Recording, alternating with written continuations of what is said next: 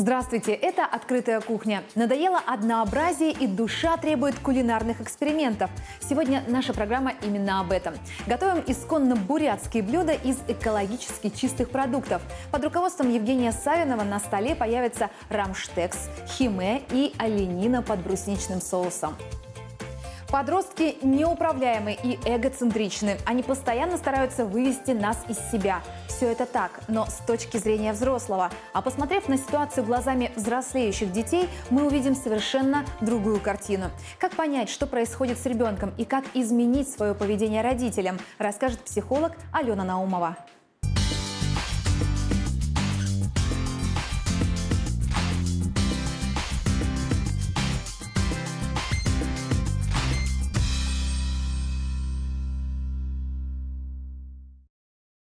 Евгений, здравствуйте. Здравствуйте. Сегодня большая часть того, что лежит на нашем столе, для меня в диковинку. Вы нам, во-первых, расскажете, что с собой принесли, а во-вторых, э, просветите, что же мы из этого можем приготовить. Что мы сегодня готовим? Ну, сегодня мы приготовим с вами рамштекс из рубленого мяса дикого северного оленя угу. с салатом. Потом мы приготовим традиционное бурятское блюдо, это химе это вот показывайте да, сразу, это что химе, вот, вот это, это, химе, да? да, ага. это рубленая колбаса из говядины с добавлением говяжьего легкого, говяжьей печени, Печень, да, вот я тоже внутреннего жирка, лук, соль, специи, ага. там все как положено. А вот это что такое? Ну, изюминка нашей сегодняшней передачи будет э, корейка филей угу. из дикого северного оленя под брусничным соусом. Класс, все, мы можем начинать. И у нас уже кипит вода. Это для чего? Для лапши, наверное? Да, это для лапши. Лапша у нас замороженная, потому что она хранится в заморозке, и мы ее сразу в таком виде туда погружаем. Угу, хорошо. Так, и э, ждем, когда закипит вода. Дальше что мы можем отправлять на сковороду? Наверное, Мы давайте да? сразу сделаем, наверное, соус. Угу. Чтобы включаем, на сковородку? Да, да, включаем сковороду. А вот, кстати, она реально замороженная, да? Да. Сколько она вот так хранится? Три месяца. Вот так. То есть спокойно в морозилочку, да? Положить? Да, она хранится в морозилке, у нее прям прописано, угу. что хранение не выше минус 18 градусов. Угу. Хорошо, все открываю, да, и можно... Да, да, да, да, да. Нам полностью на порцию нужна будет вся, да? Ну, она вообще идет как на две порции. То вот этого будет достаточно. Для двух порций. Да, вот да, это, да. да если... Мы солим воду или это потом Нет, делается? мы ничего не делаем, потому что мы сейчас для этого специально делаем соус. Хорошо, все. Можем отправлять лапшу. Вот как-то да. ее специально надо выкладывать или просто вот таким же? Обычно, обычно. Все, то есть не, не паримся, не да? Не паримся, да. Да, выкладываем. Угу. И помешать сразу. Ой, смотрите, как она сразу разошлась. Да. Но это за счет того, что она хранится в заморозке. То есть она не слипается, она сразу... Вот это вот, кстати говоря, интересно. Я сейчас ждала, думаю, быстрее помешать, а то сейчас все слипнется. Нет, смотрите, вот она сразу же расходится, да? Да. И мы на э, сильном огне дальше сколько ее варим? Две-три минуты. Две-три минуты, очень быстро, да? Да. Потом мы ее сливаем через друшлаг, и, в принципе, она у нас готова. Пока она у нас приготовится, у нас пассируется соус, мы, в принципе, угу. сразу ее соусом сдобрим. Угу. Вторая сковорода разогревается у нас тоже, это... Вторая сковорода у нас разогревается для рамштексов. Мы обжариваем на масле, без да, масла. На масле, оливковое угу. масло желательно. Вот. Ну, можно растительное. Наливайте сколько нужно его. Чуть-чуть. Много не надо. Угу. И отправляем туда. Да, отправляем туда рамштекс. Можно поменьше сделать. Хорошо. Под соус.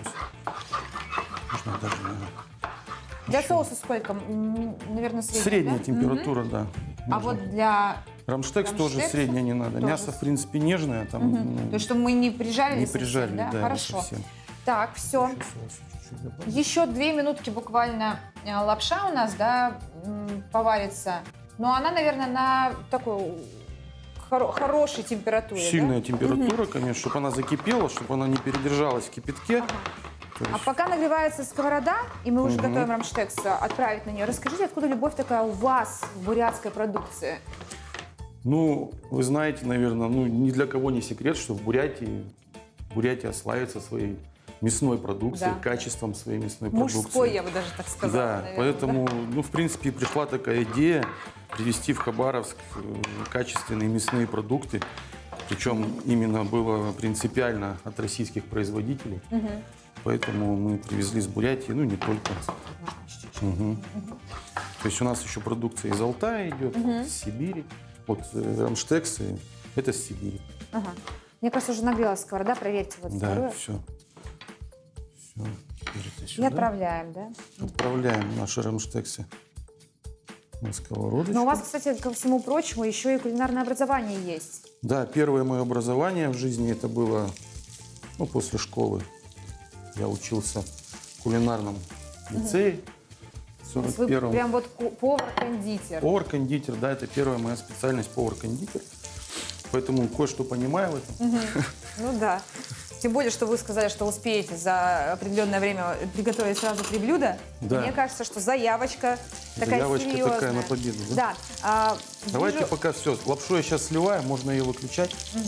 Прям вот буквально 2-3 минутки Все, да, она Всё готова. готово? Давайте да, сразу. готово. Давайте сольем. вместе. И это приятное шкварчание. Сразу чувствуется, что мужчина на кухне готовит.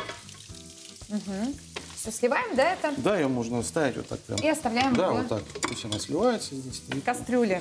А, кстати, дома насколько часто вы готовите? Практически каждый день.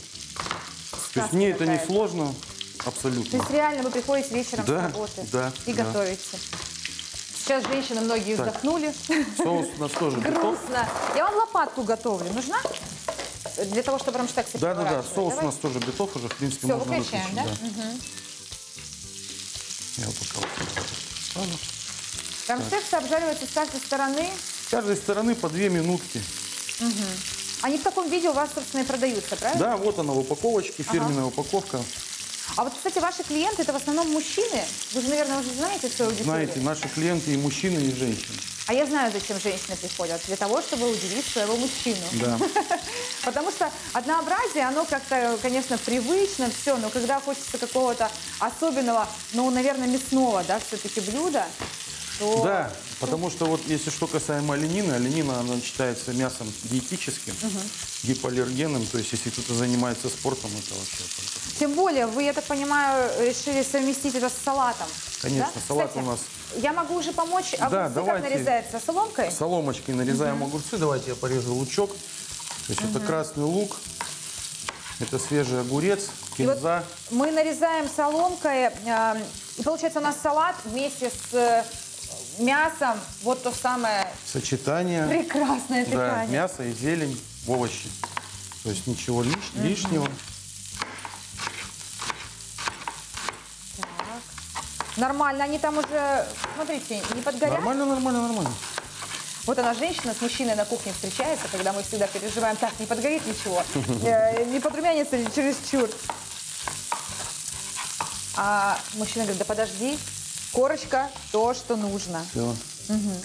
Там немножко можно крышечку, если есть у нас. Ну, буквально чуть-чуть их. Чуть-чуть просто. Прикрываем, да? Да, Вот чуть-чуть. можно и, мне на самый, и на самый минимум Вот вот огонек. сделаю. Да. Нам- Давайте вот так. Оп. Поменьше крышку взяла, ну ладно, уже не буду искать. Вот прям вот так вот, да. Они прям чуть-чуть такие попарятся, да? Да, пусть попарятся, да, потому что это не помешает, в принципе, вкусовых качеств не испортит. Что в салате, кроме огурцов, будет?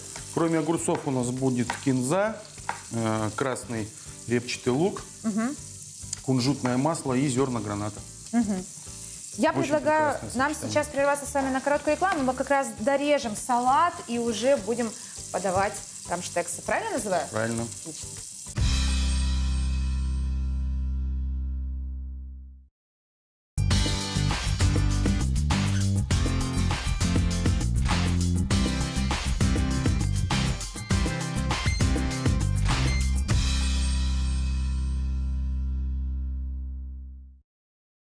Надоело однообразие и душа требует кулинарных экспериментов. Сегодня наша программа именно об этом. Готовим исконно бурятские блюда из экологически чистых продуктов. Под руководством Евгения Савинова на столе появятся рамштекс, химе и оленина под брусничным соусом.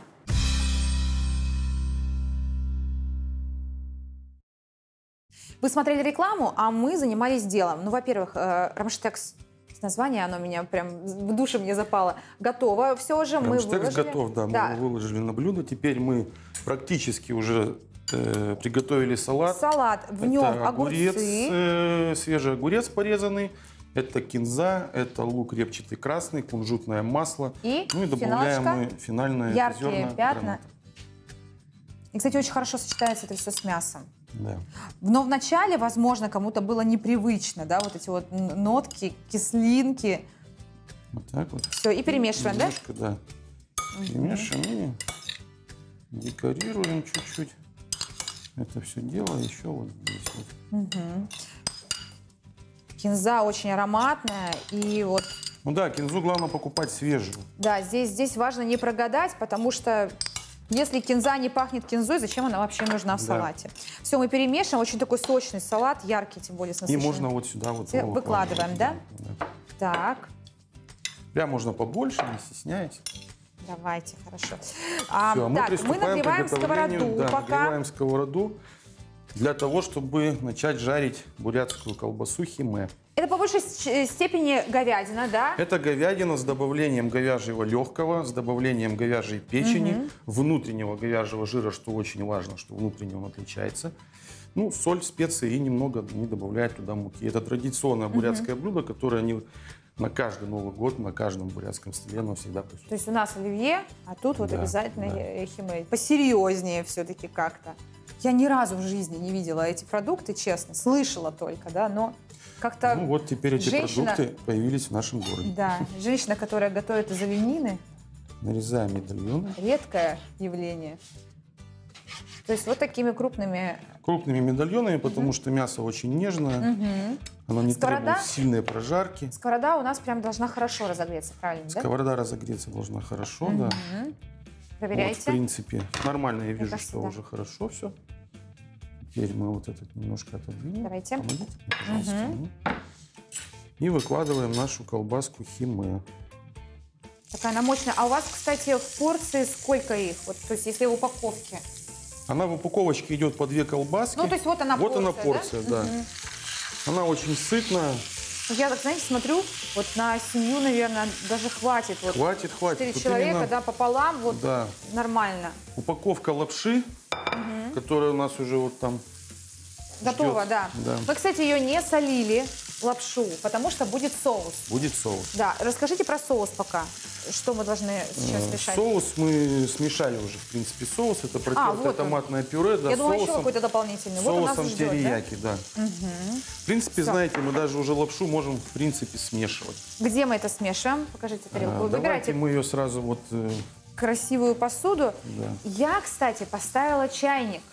Для чего, Правильно. расскажите. Чайник вы поставили для того, чтобы... Опа, У нас есть этот напиток, написано продлевающий э, Продлевающий жизнь. жизнь. Это саган дали.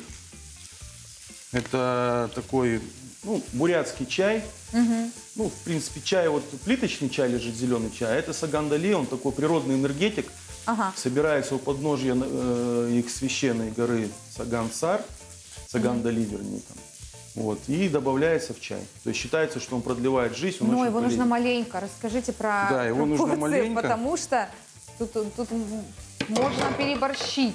Да. Он очень тонизирует, я так понимаю, Он да? очень тонизирует, да, Поэтому буквально... вот он, да, правильно у нас Да, здесь? это мы вот его Сколько его нужно вот кружку? Вот такую виточку на кружечку. Вы представляете? Вот не больше.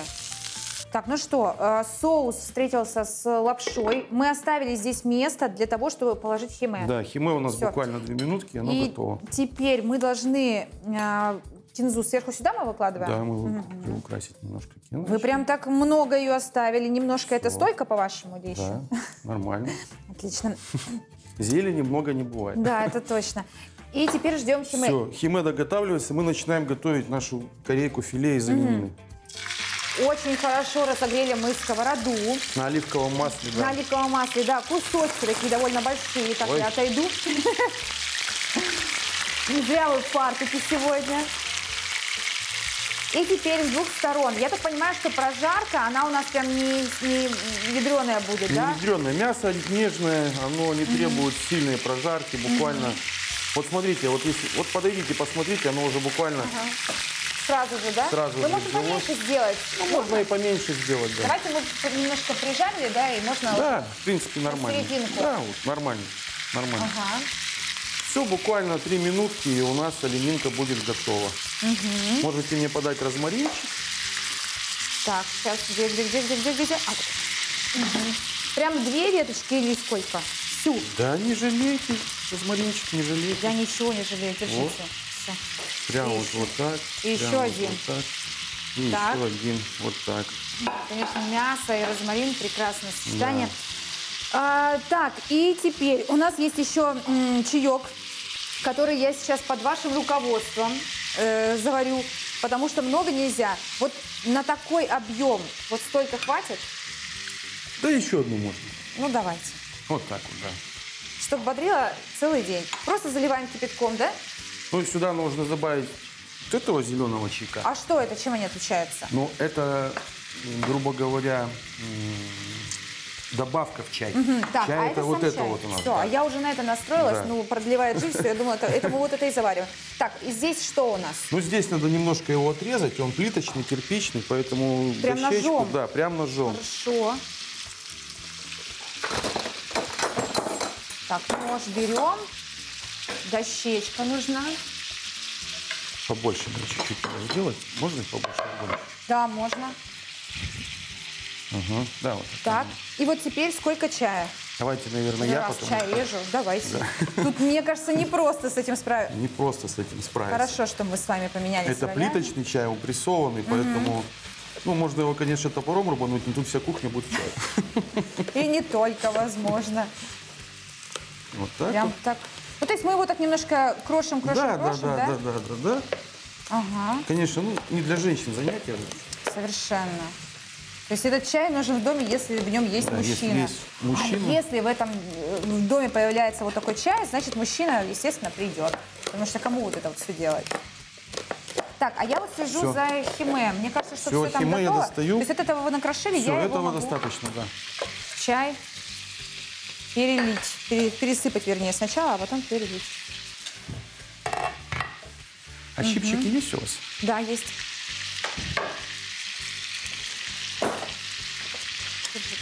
Вот такие только. Да? Да, да, да. Все. Что у нас химе готово уже. Чаек заливаем. Мы его выкладываем.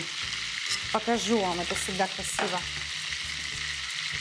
И сколько это заваривается? А как обычный чай.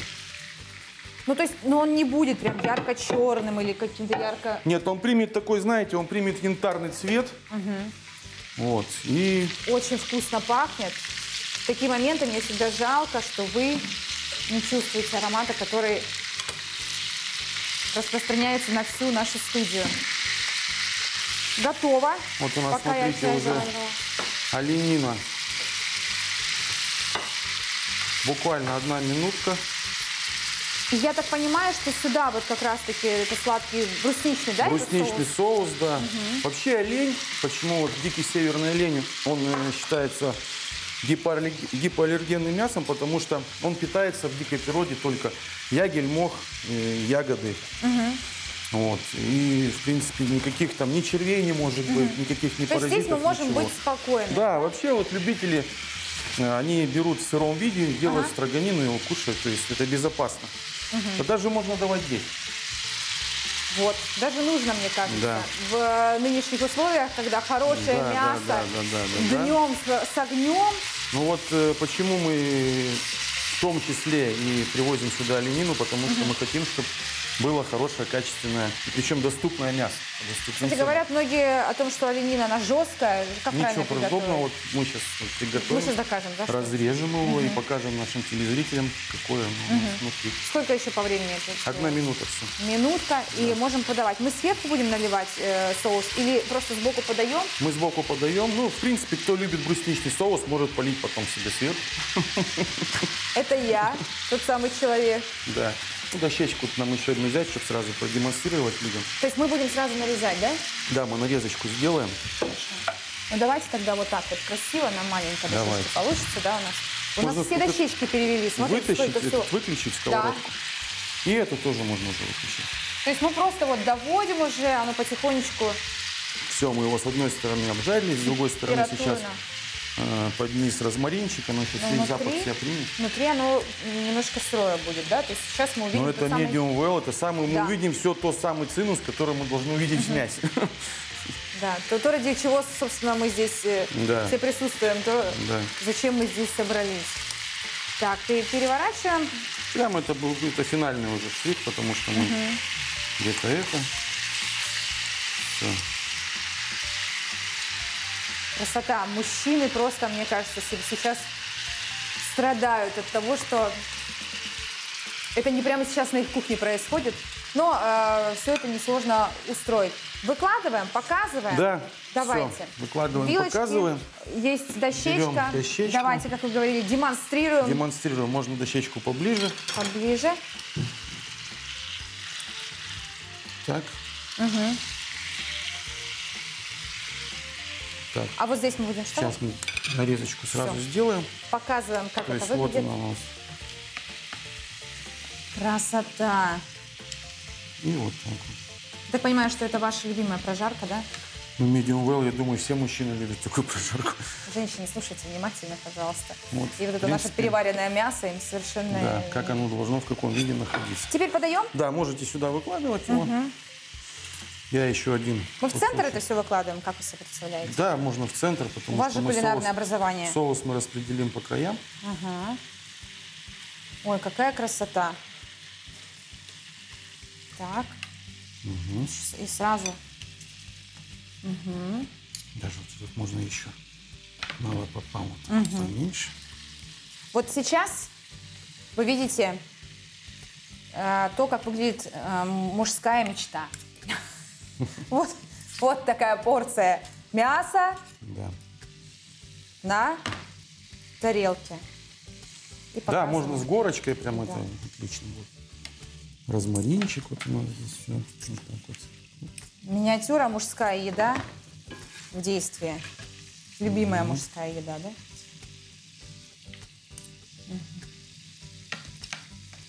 Все, выключаем Все, сковороду. выключаем сковородку. Все готово. И, и Всё как вы обещали, готово. соус мы ставим рядышком.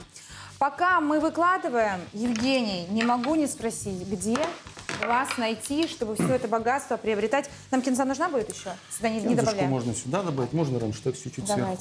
Кинза никогда не помешает. Говорите адрес, мы придем уже завтра. Наш магазин, фирменный наш магазин нашей компании находится по адресу город Хабаровск, улица Ленина, 72. Это площадь Энергомаш. Мгм. То есть вы нас там встретите Все, и все отдарите продукты, все продукцию, которую мы сегодня здесь использовали, все можно там приобрести. Красота. Вот здесь, получается, мы просто берем кусочек и обмакиваем в этот брусничный соус. Совершенно Спасибо верно. большое за то, что сегодня пришли. Приходите к нам еще обязательно. всего доброго. А мы увидимся после рекламы.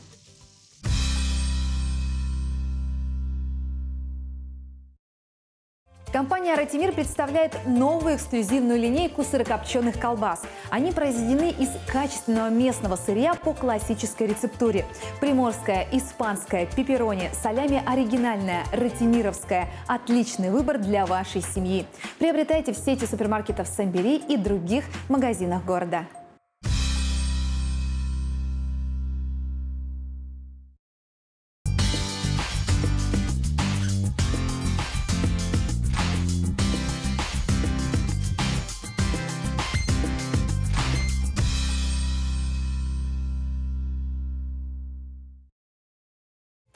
Подростки неуправляемы и эгоцентричны. Они постоянно стараются вывести нас из себя. Все это так, но с точки зрения взрослого. А посмотрев на ситуацию глазами взрослеющих детей, мы увидим совершенно другую картину. Как понять, что происходит с ребенком и как изменить свое поведение родителям, расскажет психолог Алена Наумова.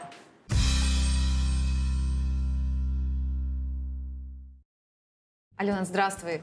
Здравствуй, Маша. Я думаю, что ты понимаешь, что я от тебя сегодня жду каких-то рецептов, как нам э, совладать с нашими детьми и им с нами тоже. Но, э, возможно, готовых не будет, но просто э, в какой-то момент нам помоги. Давай начнем с э, первого вопроса возрастного. В каком возра- возрасте ребенка нужно э, изменить к нему отношение? Уже не относиться только как к ребенку, а начать уже воспринимать его как взрослого. Очень сложно родителю своего родного ребенка воспринимать как взрослого. Единственное, что мы можем сделать, мы можем начать воспитывать в себе это восприятие. Он мой ребенок, который взрослеет. Mm-hmm. Возраст в 7 лет мы наших детей отдаем в школу и начинаем думать, что это возраст взрослости. А потом, Но мы когда... им говорим, в 7 лет ты уже взрослый ребенок. Ну, да.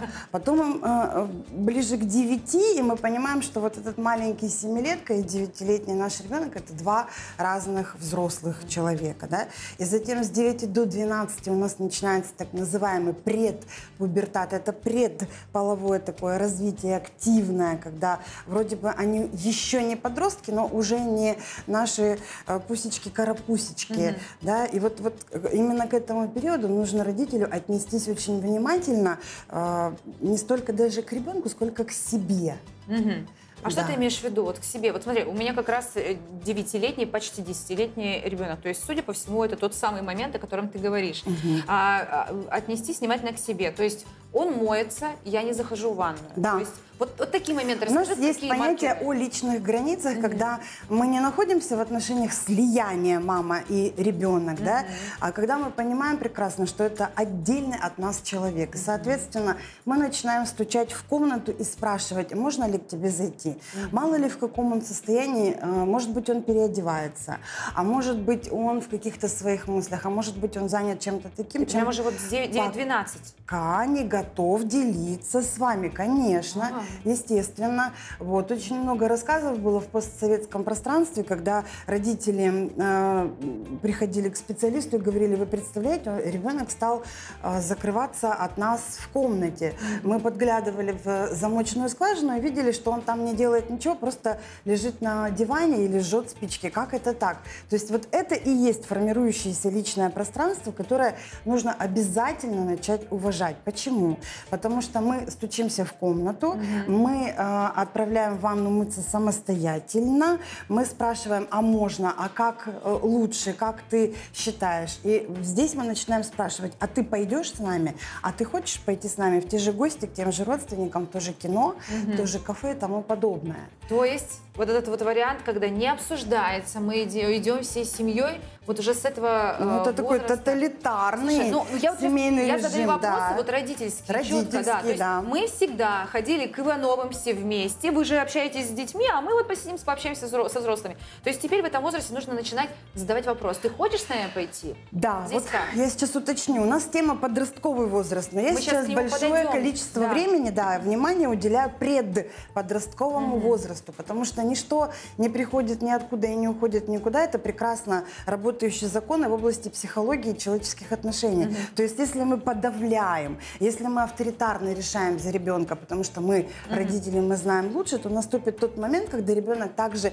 категорично, не авторитарно, но э, вот с такой же вот, вот противодействием, с таким же будет с нами бороться за себя mm-hmm. в первую очередь, как за личность, как за отдельную единицу. Понимаете, семья, да, это несколько человек в одном пространстве, а, окруженные одной такой вот системностью, да, у нас есть у всех роли, там, мама, папа, ребенок старший, ребенок младший, но при этом каждая семья состоит из отдельно взятого человека. Так вот, возраст подростковый – это то, когда ребенок подрастает и понимает, что он в семье, да, но он и отдельный mm-hmm. человек. И если мы, родители, себя к этому не подготовим с 9 до 12, то с 12 до 16 это будет взрыв, это будет борьба, mm-hmm. это будет там, я не знаю, что-то такое ужасное, как описывает огромное количество людей. Но нужно хорошо понимать, что подростковый возраст должен быть. Угу. То есть, если вдруг ребенок себя ведет как прежде и в подростковом возрасте, это что, несуществующий человек? Или это, наверное, звоночек, что, лучше, что потом будет вот взрыв точно? Это Интересно, звоночек, конечно, это существующий угу. человек, и большой вопрос, почему он не стремится отделяться. Понимаете, вот а, вот комфортно не будет. Вот хочу уточнить Все, эту мысль. Это да. Оно не, не должно быть комфортно, потому что там, где есть комфорт, там нет конфликта и нет развития. Вот, да, да, да, там нет развития. Супруги ругаются очень сильно, приходят к психологу и говорят, мы постоянно ругаемся, нам, наверное, нужно разводиться. Психолог скажет, нет, если вы еще ругаетесь, то это хорошо. Это те динамики, которые вы проявляете. У вас есть общая, есть связь, понимаете? И вот в подростковом возрасте конфликтующий с собой и с обществом ребенок, угу. это очень и очень хорошо. Если вдруг он не конфликтует сейчас, то потом, потом, потом это как отложенный стресс, где-то там потом это будет. Угу. И поэтому нам, конечно, как родителям, очень надо, чтобы этот подростковый возраст, этот конфликт, эти истерики, психоприпадки, швыряние портфелей, бахание дверями, угу. вот чтобы это было с 14 до 16. Угу как вести в этот момент нам себя. То есть он закрывает дверь с треском, да, он швыряет вещи. И вот этот вот весь театр, он, наверное, направлен на нас самих. Что должны делать мы, взрослые, с этим взрослеющим?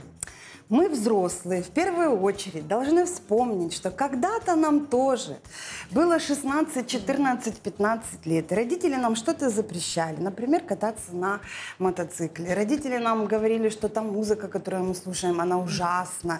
А, родители нам очень много чего говорили. И мы тоже бунтовали, и конфликтовали, и тоже делали дверью бах. И поэтому, если вдруг наш родной ребенок перед нашим носом захлопывает демонстративно двери, наша задача вздохнуть и выдохнуть выдохнуть три раза, развернуться и уйти. Потому что если это обостренный эмоциональный момент, чего в этом обостренном эмоциональном моменте делать не надо, так это конфликтовать. Естественно, в этот момент все друг другу скажут много нехороших слов, некрасивых, ударят обидят, даже, возможно. оттолкнут, да, да. ударят, да. И потом, потом, потом это через годы понесется. Понимаете, вот основная мысль подросткового возраста, а, а, она заключается в том, что нам надо принять, он должен быть, Угу. А самое интересное, что мы все должны его прожить так, чтобы потом, когда этот подростковый возраст завершится, а он завершится, мы могли иметь хорошие, качественные отношения. Потому что следующая фаза детско-родительских отношений после подросткового угу. возраста – это дружеские отношения. Это когда дочка с мамой начинает дружить, они становятся подругами. Угу. Понимаете, это тоже период, не на всю жизнь. Это должен быть период. Так же, как и сын с отцом. А, они становятся на какой-то период друзьями. Mm-hmm. Понимаете? И проживая вот эти тяжелые эмоции перед э, захлопывающейся дверью перед родительским носом, криками, воплями и швыряниями сумки с учебником, понимаете, надо, как родителю надо понять, что это пройдет. Мы, взрослые люди, это уже прожили.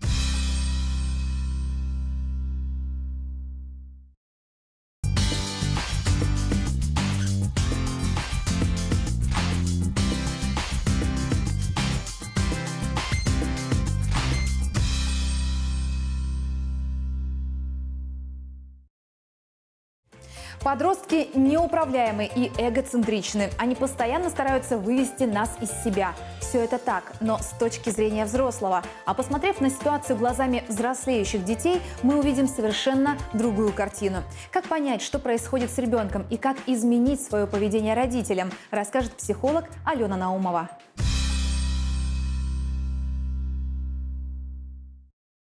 Жестко сейчас скажу. Жестко. А, вы меня не слышите, вы меня не понимаете, вы тупые. Ну, это же конкретно... Тупые?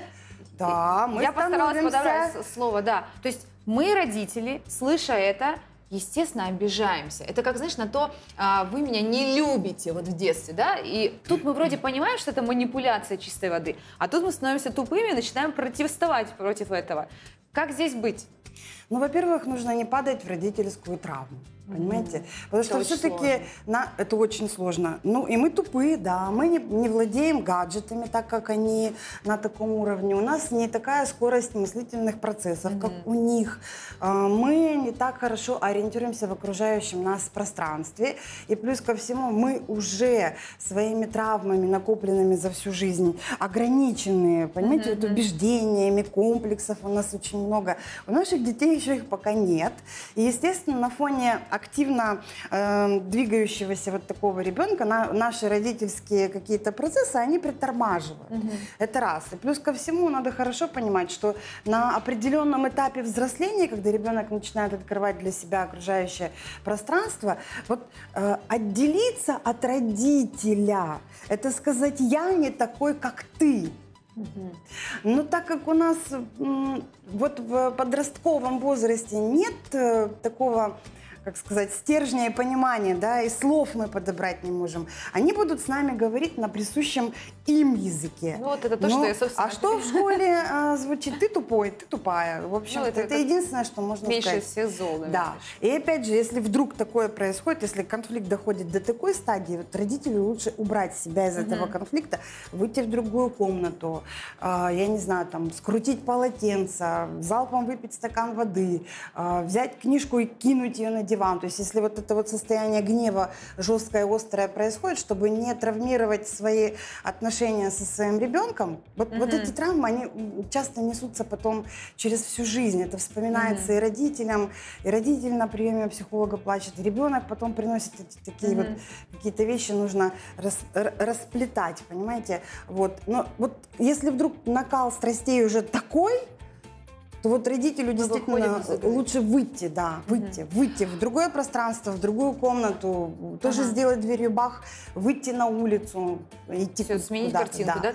Ален, э, еще одна большая проблема – это вредные привычки начинается как раз-таки в подростковом возрасте. И мы вроде понимаем, что и у нас так было. было. И сейчас здоровый образ жизни, он всех захватил, и там спичек не найдешь в компании, потому, ну там, или зажигалки. Ну, потому что никто уже, Все, да. да, да. Но это же есть. Как нам на это реагировать. То есть это Держать есть. свою позицию родителя, понимаете? Вот если мы не хотим, э, чтобы э, у наших детей э, были в 16 или 17 лет дети, значит, нужно что-то оставить в комнате у них, не обсуждая с ними, да? mm. книжку, пособие. Этого сейчас достаточно, да. Не, mm. не, не, не то, то есть что вот эти подумали. разговоры, давай, сынок, Нет, поговорим. не надо этих разговоров, они очень плохо на это реагируют. И... Они говорят, ну что ты еще про это не знаешь? Да, давай я тебе расскажу. Вот то же самое, вот если вы не хотите, чтобы дети вредные привычки, это мы о курении говорим, да, да? и первая ну, проба да, алкоголя. Да. Вот, первая проба алкоголя, она, как правило, должна быть, она есть. Э, желательно, если в семье об этом совершенно спокойно говорится, что вот э, мы точно знаем, что это происходит в этом возрасте, значит, первый, кому ты звонишь, папе или маме, мы тебя из любой ситуации спасаем. Вот. Ну, спасаем, mm-hmm. да. Очень хорошая Кстати, вот важно, наверное, шутка этом, есть. дети это не знают. Да, это, шутка есть в Инстаграме, что я не хочу, чтобы мои дети, если бы у них что-то случалось в жизни, говорили, мама или папа меня убьют. Я хочу, mm-hmm. чтобы мои дети, если у них что-то случается в жизни, знали точно, что первое, кому нужно обращаться, mm-hmm. это мама или папа. То есть вот э, вредная привычка про алкоголь они точно должны знать, угу. что это будет. В этом возрасте, как правило, это происходит у всех. Угу. Хотя бы какая-то проба пера возникает. Вот. Соответственно, звоним маме или папе, мы из любой ситуации спасаем, выруливаем. Хладнокровно, опять же, идем. Хладнокровно, спокойно, да, мы сами все это проживали. Вот. Угу. Если это касается курения, ну, как правило, курение в школе это тоже проба пера, но э, все вот эти разговоры о том, что это вредно, это плохо, это период, понимаете, периодизации. Mm-hmm. Если в семье это все табуируется, если это показывается как активно плохо, э, да, это отравление организма, то вот, понимаете, вот на, насколько это будет давление происходить на этого несчастного ребенка, mm-hmm. вот, настолько он это будет делать, mm-hmm. пардон, за гаражами. Mm-hmm. Понимаете? Слово сепарация. Вот мы разговариваем с тобой, правильно я его произношу, да? да? А, очень часто это слово теперь употребляют. Это мое любимое, когда не знаю значения, но очень э, активно используют речи. Мне хочется, чтобы ты объяснила, что это за процесс, когда он происходит и как это связано с подростками. Сепарация – процесс отделения. Угу. У нас почему-то принято считать, что сепарация – это вот кризис трехлетнего возраста, когда дети кричат в магазине, валяясь на полу и тому подобное. То есть потом сепарация, что это все зависит от ребенка, что можно вот придумать какие-то такие способы и методы, и наши дети сами по себе вдруг раз такие и вот начали сепарироваться. Нет, открою тайну. Сепарация всегда начинается с мамы, с маминых внутренних психических, психоэмоциональных, духовных, ментальных, полевых процессов. Угу. Вся сепарация всегда начинается с мамы. И самое интересное, что вот в возрасте в подростковом ты уделила внимание с 9 до 12 лет возраста, да, потому что там первые звоночки начинаются. Угу. Почему э, я говорю о том, что мамы, начинайте стучать в дверь, мальчики, девочки, Начинайте стучать в дверь. Научите пользоваться стиральной машинкой. Научите пользоваться утюгом в этом возрасте. Не насильно, а предложите, угу. чтобы ваш взрослеющий ребенок мог обслуживать себя сам. Угу. Понимаете? И вот к возрасту с 12 до 16, вот этот активный, яркий возраст подростковый, да, противостояние, если мама не дает возможность, понимаете, вот если в маме эти процессы не начинаются, очень тяжело утрачивать действительно своих пусечек, карапусечек, мамочкиных там котеночков, где как приходят женщины и говорят, у меня дочка до 11 лет была такая лапочка, такая лапочка, сейчас какой-то ужас, она не может быть лапочкой в 44 года. Она не может быть лапочкой в 25. Угу. Ей в 22 уже нужно строить качественные отношения с противоположным полом. Угу. Она все время и лапочка, и лапочка для своей мамы, и лапочка, и лапочка. Ну не может такого быть. Угу. Соответственно, чем сильнее мама вот внутри не готова отделить, выделить, угу понимаете, своего ребенка, тем тяжелее, качественно тяжелее будет происходить подростковый угу. возраст. А вот это вот маменькин сынок, это от того, что не произошла сепарация внутри мамы? Да. То есть это все-таки корни как раз... Мам, мамские же, да? истории. Но я не люблю обвинять маму честно. Потому что, чтобы с мамой это происходило, в маминой жизни должны быть определенные истории, ситуации. И, как правило, это травматический mm-hmm. материал очень, поэтому я не хочу обвинять маму. Mm-hmm. Вот. Но стоит об этом все-таки задумываться. Об этом стоит, наверное, даже наперед. целую передачу провести, потому что э, история, как маме э, позволить себе жить отдельно от своего ребенка, это mm-hmm. очень большой вопрос. Это вопрос мам трехлетних детей. Mm-hmm. Ой, а когда ребенку исполнилось три года, я поняла, что жизнь вокруг есть. Mm-hmm. Вот она сепарация. Мама поняла, что жизнь вокруг есть. Про маму обязательно поговорим, это будет тема нашей программы. Да. А вот э, про обнимашки мы еще не и затронули. Целовашки. и целовашки. Э, заметила, когда ребенка перевожу через дорогу, и в какой-то момент хватаю его руку, и один как-то раз вот он мне сказал, мам, не надо брать меня за руку, я взрослый. Я такая, как так? Но это минимальное, да, когда э, мальчики запрещают себя обнимать, целовать. Это тоже же обидно, да? Вот, как здесь? Как здесь? То есть все обнимашки... И почему это происходит?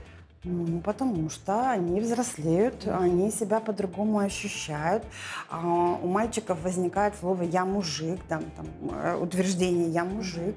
Да, девочки уже по-другому тоже к этому относятся. Но девочки все равно чуть пораньше психологически взрослеют. Mm-hmm. Вот, немножко по-другому к этому относятся. Все обнимашки и целовашки мы оставляем дома. Не при всех. Не при всех. Все, это это да. такой личный интимный это процесс. Это уже личный интимный процесс, это проживание внутрисемейных отношений, это ваш процесс. У нас же не принято отношения мужчины и женщины выносить на э, Уссурийский mm-hmm. бульвар, к примеру. Вот, то есть это понятно всем, да, что это все дома, это как-то все личное такое. Но у нас почему-то дети, вот я опять же говорю, что у нас дети не отделяются от родителей, не отделяют а, себя от детей. У нас mm-hmm. считается, что вот с мужем целоваться прилюдно на улице нельзя, а ребенка прилюдно перед школой целовать можно. Mm-hmm. Интересно. Да, вот этот момент. То есть вот здесь тоже. Да, мы быть... переносим домой его. Угу. Все происходит дома. И обижаться на ребенка не стоит в этот момент. Ну, а почему мы должны на ребенка... Ну, так происходит. Да, я понимаю, вот что... Мы разговариваем с подругами, такое... они представляешь, вот у меня уже, вот он, ну, я его хотела обнять, он там, какая-то победа, да, там все. А, а Нет, там все, все, все, переносим все, все, все дома, да. Далее, почему да. дома? Потому что э, дом, семья, это ритуалы, понимаете? Угу. Вот, то есть у нас есть совместные обеды, ужины, вся семья вечером угу. старается, да, собраться и поужинать вместе угу. за столом, чтобы хотя бы побыть, поговорить, даже если не поговорить, то побыть. И вот обнимашки и целовашки подростка, особенно 14-15 лет, вот услышьте меня, угу. они будут делать вот так, угу. они будут отворачиваться, они будут обижаться, они будут психовать, тогда наша задача сказать один раз. Угу. Один раз. Подошли, поцеловали, а, пообнимали. Почему? Потому что, несмотря на то, что это взрослеющий, бунтующий, конфликтующий с миром, с собой и с вами человек, это по-прежнему ребенок. Угу. И ребенку обязательно нужны объятия, телесный контакт, признание угу. в виде поцелуев, обнимашек и целовашек. Отлично. В общем, точки над «и» мы расставили. Аюн, спасибо большое за этот ликбез. Для родителей нужно пересматривать снова и снова тему следующей нашей программы тоже уже с тобой продумали. Да. Всего тебе хорошего. Спасибо. А это была программа «Открытая кухня». До встречи.